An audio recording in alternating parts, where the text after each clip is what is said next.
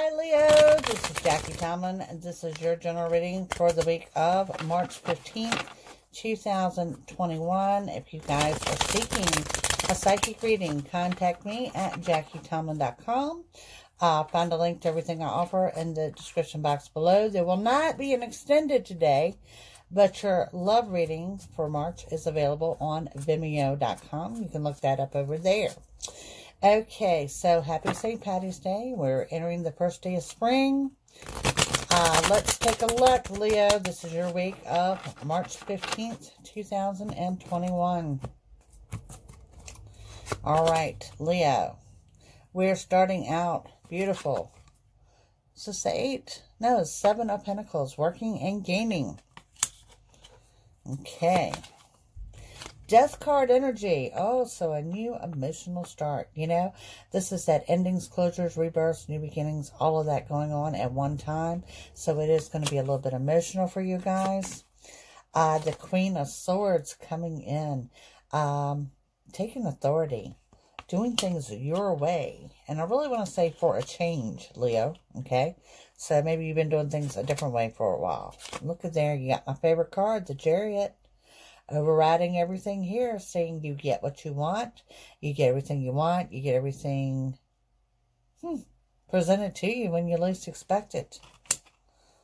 Center of your reading is the hangman energy. Now, this tells me, Leo, you guys may be feeling a little bit stuck. You may feel like you're not moving forward, you're not moving backwards, there's not a whole lot of movement. And we have that Eight of Wands energy and the Eight of Wands, that happy-go-lucky, happy, content, love arrows, all of that flying around for you guys. Page of Swords energy, happy, aloof, carefree. Uh, this also indicates a Taurus type energy. With that, I've got the King of Pentacles going back to that financial stability.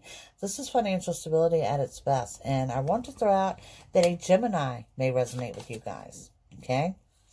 With that Three of Swords energy. Now, you know, that Three of Swords, gotta love it.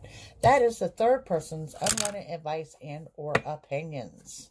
Okay? So Leo, let's jump over here. Let's clarify these. See what we have going on. This is your week of March 15th, 2021. And I really think the energy for this particular week, for whatever reason, it's high and it's a high vibration. So starting with that Seven of Pentacles, going with the Knight of Pentacles. Okay, so whatever money we've got going on here, it's going to come rushing in. I want to emphasize rush. Okay? that I do see that rushing in for you guys.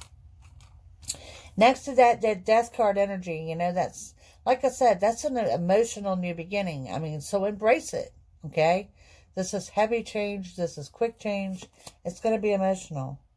Four of Swords. It's also telling you get the rest that you need when you need to. Leo, sometimes you're going to have to disconnect from the world and just say, stop. I need some time to myself do not hesitate to do so.